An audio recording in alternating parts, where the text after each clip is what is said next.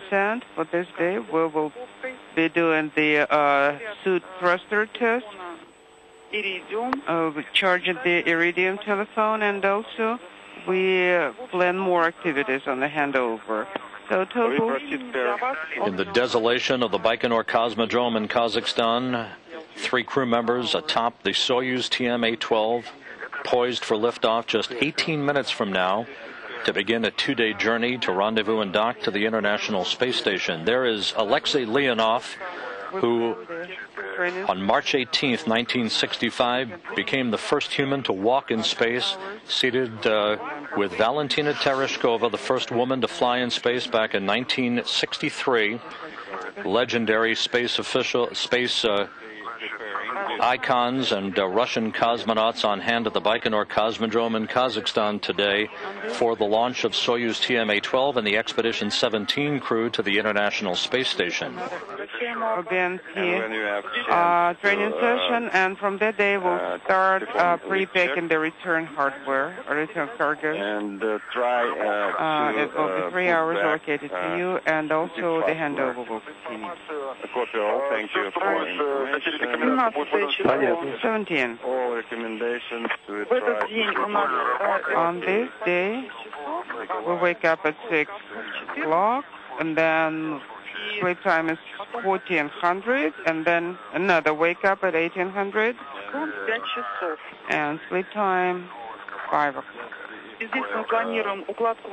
Yeah, we plan to do the uh, return cargo loading and also urine for the ISS 17 crew commander uh, two hours of assistance. Also for U.S. local switching unit disassembly and removal from uh, Soyuz. And for ISS-17 crew commander, he'll be uh. He will be loading uh, the return cargo into Soyuz and also again some more handover activities. Any questions? No. 18, wake up at 16.30. Now just 16 minutes away from the launch of uh, the Expedition 17 crew here in the International Space Station Flight Control Room at the Johnson Space Center on the right side of your screen. Flight Director Ginger Kerrick, uh, who uh, will be uh, discussing all of the activities throughout the course of the day uh, with the uh, Expedition 16 crew on board the complex, uh, joined on console uh, on her right, on the left side of your screen, by astronaut Shannon Lucid, who herself uh, made history uh, with her uh, record uh, six month stay aboard the Mir space station. Back in the 1990s, uh, Lucid um, is talking directly to the crew uh, this morning on board the International Space Station as they continue on board the complex uh, to watch. Uh, a feed that is being uplinked to them of uh, the launch preparations down in Baikonur. The uh, word uh, from launch officials down in Kazakhstan is that uh, at the 15-minute mark, uh, everything is in readiness for an on-time liftoff at 6:16 a.m. Central Time, 5:16 p.m. Baikonur time. At the time of launch, the International Space Station will be traveling uh, over the uh, Pacific Ocean just to the west of Pitcairn Island.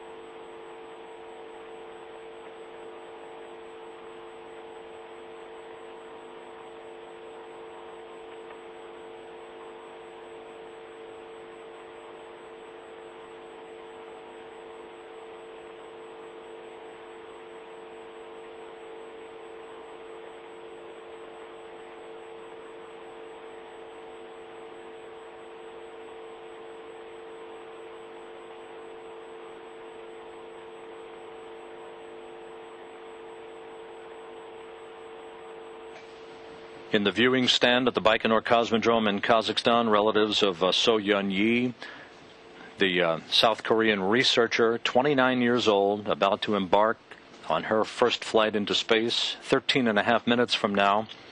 The uh, Soyuz is fully fueled, ready for launch. It will take about nine minutes uh, for the TMA 12 to reach orbit. Once it uh, separates from its uh, third stage and reaches uh, its preliminary orbit, its uh, solar arrays and navigational antennas uh, will deploy. The Soyuz uh, will be in its preliminary orbit, standing by for two rendezvous burns that will take place later today uh, to refine its path en route uh, to the International Space Station. The first of those burns to occur at about 9:52 Central Time this morning. The second, a circularization burn at about uh, 10:38 Central Time, that will place uh, the Soyuz on its correct path uh, for uh, rendezvous and docking to the complex on Thursday morning, just after 8 a.m. Central Time. The uh, docking port uh, for the Soyuz TMA-12 will be the Pirs docking compartment, which was vacated yesterday when the Progress uh, 28 cargo craft uh, was undocked and commanded to deorbit into a destructive reentry over the Pacific Ocean. Uh, currently uh, docked to the aft end of the Zvezda service module is the Jules Verne European Space Agency's automated transfer vehicle that arrived at the complex last week the older of the Soyuz vehicles, the TMA 11, that will be the ride home for Peggy Whitson, Yuri Malenchenko, and So-yeon Yi on April 19th, is docked to the nadir or earthward facing docking port of the Zarya module. Uh, this good view now of So-yeon Yi uh, in the right seat in the Soyuz TMA 12 as uh, she listens uh, to uh, the launch control uh, center technicians providing 199. Uh, their discussions of final pre launch preparations less than 12 minutes now from launch.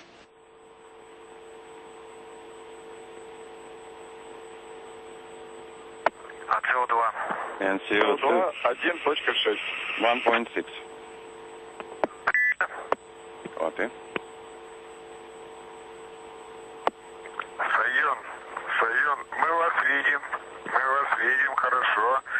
We can see you on Это TV. Пирминов, руководитель Роскосмоса. This is Perminov. Я Роскосмос, нахожусь в бункере, моменту. в бункере прямо на I'm, связи э, с вами. Так что больше in bunker. улыбайтесь, а то у вас очень So серьезное keep лицо. smiling. Хорошо, You, you я are улыбаюсь. looking uh, very serious. Okay.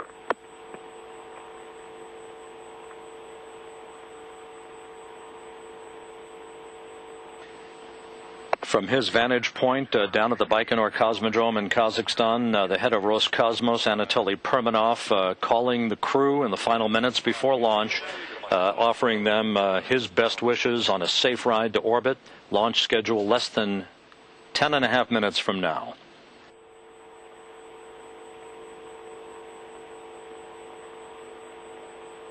You're watching live coverage of the launch of the 17th expedition crew aboard a Soyuz rocket from the Baikonur Cosmodrome in Kazakhstan. Engineers continue to monitor all systems aboard the Soyuz rocket and the TMA-12 capsule. Launch time 6:16 a.m. Central Time, 5:16 p.m. down at the Cosmodrome. Again, you're looking at So-yeon Yi in the right seat of the Soyuz capsule. Everything uh, continues uh, to track on target for an on-time launch today.